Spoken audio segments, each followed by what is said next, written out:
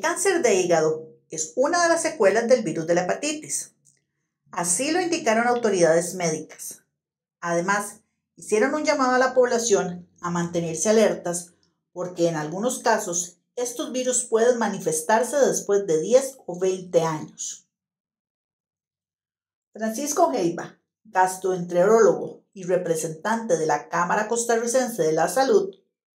expresó que es necesario localizar los tipos de hepatitis en las personas que lo han tenido o que lo padecen para definir su futuro médico y evitar complicaciones. Por otro lado, para la misión para la comunidad es pues saber que las personas que tienen más riesgo para este virus C son las personas que están expuestas a tatuajes, los que están expuestos a los piercing o anillos o argollas que se ponen en el cuerpo, las posibilidades de contaminación a través de instrumentos que no sean bien utilizados, que pueden ocurrir en odontología en algunos casos, y todo lo que significa algo que nos abra la piel y la eh, abra nuestra sangre puede estar contaminada con un virus de hepatitis C o virus de hepatitis B. La hepatitis es una inflamación del hígado causada por un virus que puede llegar a ser mortal sin un adecuado tratamiento.